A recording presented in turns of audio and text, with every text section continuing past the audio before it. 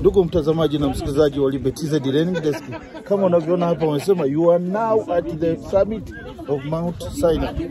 Tuko hapa mlima Sinai.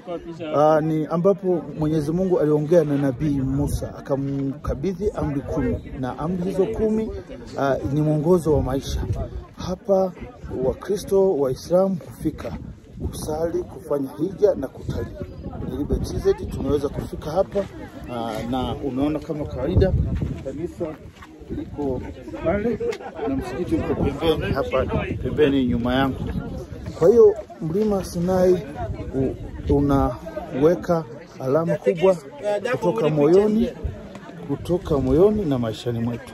Kwa utasubscribe, utashare, utacomment. Amri kumi za Mungu ni mwongozo, ni mwongozo wa maisha yetu, maisha ya mwanadamu katika dini zote, dini ya Kikristo, dini ya Waislamu na Wayahudi kama Torati, wote wanaguswa na maisha hayo hayo.